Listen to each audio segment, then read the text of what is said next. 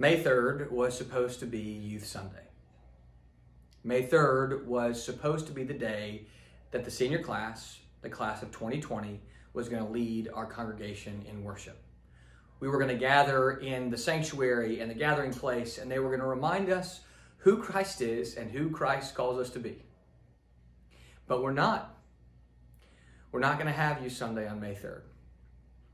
We're not going to have Youth Sunday the way we were supposed to.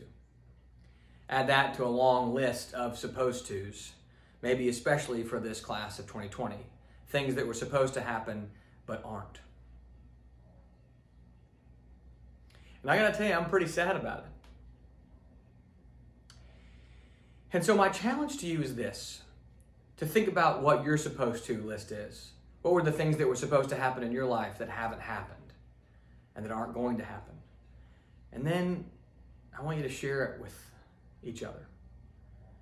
And when you figure out who it is that you want to share your supposed to list with, whether it's on the phone with your friends or a family member, your parents, maybe your siblings, they're going to try to make it better. And so they're going to say things like, well, at least you don't have to take exams, or at least you don't have COVID 19, or at least you get to spend all this time with your family, or, but it could be worse.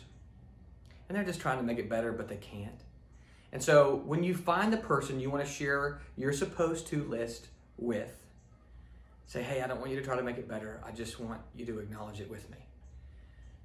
When Jesus visited Mary and Martha after their brother Lazarus had died, he didn't say, At least I'm going to raise him from the dead. He didn't say, But it could be worse. He wept with them. And so, my invitation to you is to find that person you want to share these supposed to things with, and then weep together if you need to. We're not going to have Youth Sunday on May 3rd. Instead, we're going to have a video from seniors coming toward you, like on Instagram, or uh, we'll send it to you the email, or it could be through, through the church's social media platform but it'll be all about the fruit of the Spirit love, joy, peace, patience, kindness, gentleness, faithfulness, generosity, self control. I made a mist of you.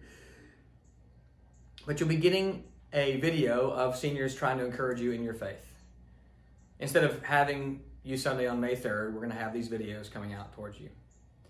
And it's my hope that as you share your supposed to list with one another, and as you experience this encouragement from these seniors, that you'll remember that God's up to something and you're a part of it.